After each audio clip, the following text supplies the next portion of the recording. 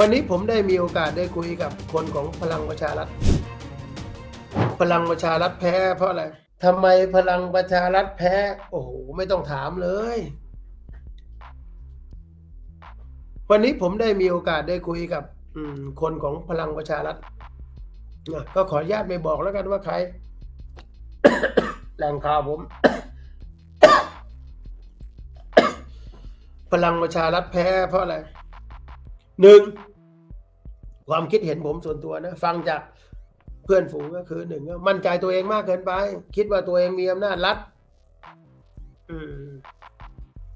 คิดว่าตัวเองมีอำนาจรัฐ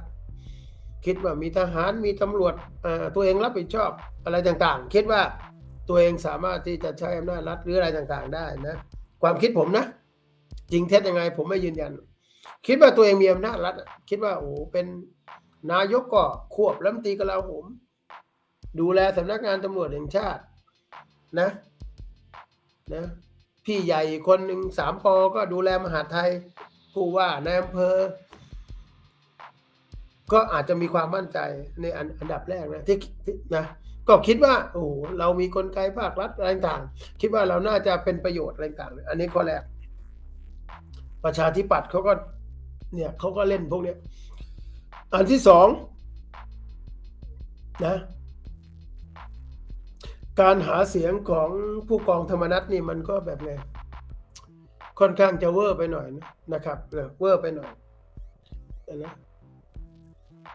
ถ้าจะเลือกสอสอต้องเลือกคนที่มีชาติตระกูล ต้องเลือกคนที่มีสตังค์พี่น้องจะเอาไหมล่ะสอสอไม่มีตังค์แล้วก็ แล้วก็เสร็จแล้วก็ตบกระเป๋า ถ้าไม่มีตังค์เราจะช่วยพี่น้องได้หรือต้องมีตังค์ ก็สามารถช่วยพี่น้องได้ ไอ้คำพูดสั้น ๆ พวกนี้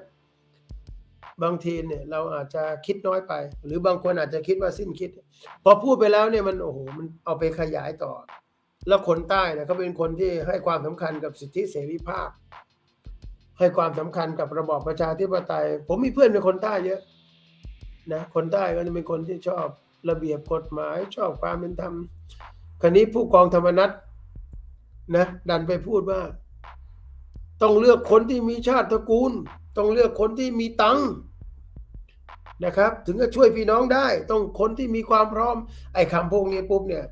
ประชาธิปัตย์เนี่ยเขาถนัดในเรื่องเอา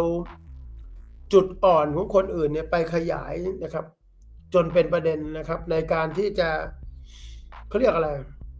ชี้นำฐานเสียงคนใต้ให้นะนะครับว่า พรรคประชาธิปัตย์ของเราต้องเลือกพวกเราอะไรต่างเนี่ยมันก็ทำให้ประชาธิปัตย์เขาตีตื้นขึ้นมา อันนี้ความเห็นผู้ส่วนตัวนะ อาจจะไม่เป็นความจริงก็ได้นะครับนะครับหลาย ๆ เรื่องนะครับที่ว่าความมั่นใจในตัวเองของพลังประชารัฐคิดว่ามีอำนาจรัฐมีอะไรต่างๆเนี่ยมันก็เลยแพ้ประชาธิปัตย์และการเตรียมตัวเตรียมอะไรต่าง ๆ เนี่ย ประชาธิปัตย์เขาเจ้าของพื้นที่เขาเตรียมมาดีกว่า นะครับ หลาย ๆ อย่างเนี่ยมันก็เสร็จประชาธิปัตย์อืมนะครับ ก็ยินดีกับประชาธิปัตย์ด้วยชนะนะครับ ตามระบอบประชาธิปไตย พลังประชาชาติก็เสร็จนะครับนะแล้วก็การปราศัยต่างๆ ไม่ว่าจะเป็นหัวหน้าพักเลขาธิการพักที่ไม่ค่อยระมัดระวังตัว เวลาขึ้นเวทีอะไรเนี้ยเช่นนโยบงนโยบายต่างๆเนี่ยนะคนละครึ่งบ้าง อะไรต่างๆเหล่านี้มันทำให้ เป็นช่องว่างให้ประชาธิปัตย์นำไปขยายผล